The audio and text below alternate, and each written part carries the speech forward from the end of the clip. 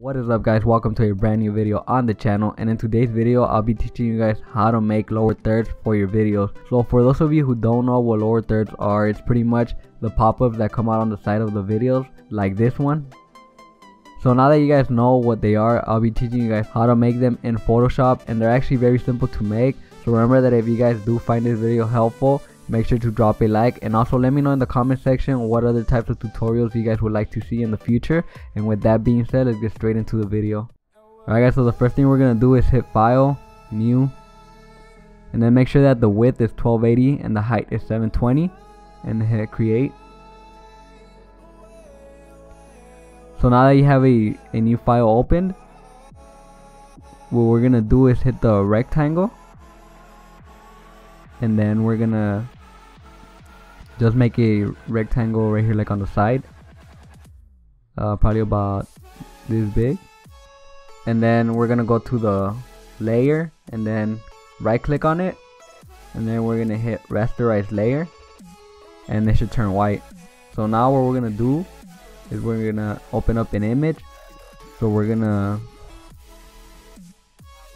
open up this thumbs up image.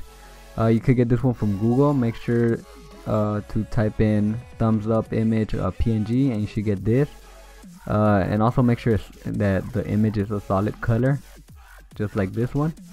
So now when we're resizing an image in Photoshop uh, you gotta make sure this thing right here is locked because if it's not locked uh, the image is not gonna resize like it is when you're trying to resize it it's gonna like go crazy. So yeah guys make sure that this is locked. So from the corner we make it smaller. And then uh, I think it should be this is a good size. So we're gonna hit the check mark. Okay. So now what we're gonna do is we're gonna right click on it. And then we're gonna put merge down. So now what it did it merged uh, the rectangle in the image. So now when we change the color when we go to blending options. Uh, we'll go to color overlay and I'll change the color we're gonna make it green. So now the next thing we're gonna add a stroke. So we're gonna make the stroke white. Uh, that should be good. So we hit ok. And then the next thing we're gonna do is add some text. Choose whatever font you guys would like. So I think I'm gonna choose Have Heart Two. And then we're just gonna type leave a like.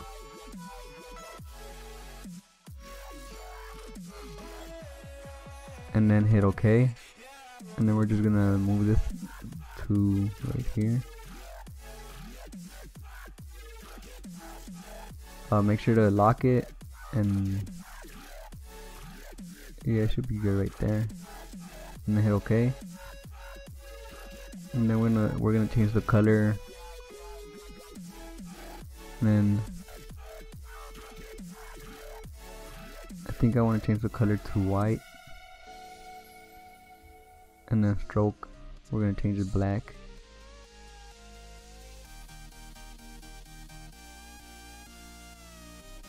And uh, I think we're gonna add a drop shadow.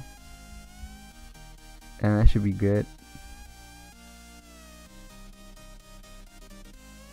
Also I forgot to add a drop shadow to our image so we're gonna right click. We're gonna go back to blending options and hit drop shadow and I think that should be good. So then we're gonna hit OK so yeah guys this is how you make a lower third image for your video.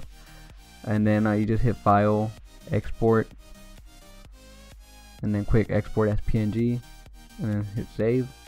And then it should save it. And that pretty much wraps up today's video. So i hope you guys did enjoy it or found it helpful. And if you guys did make sure to give this video a thumbs up and subscribe if you're new to the channel. Thanks for watching and i'll see you guys in the next one Thank you.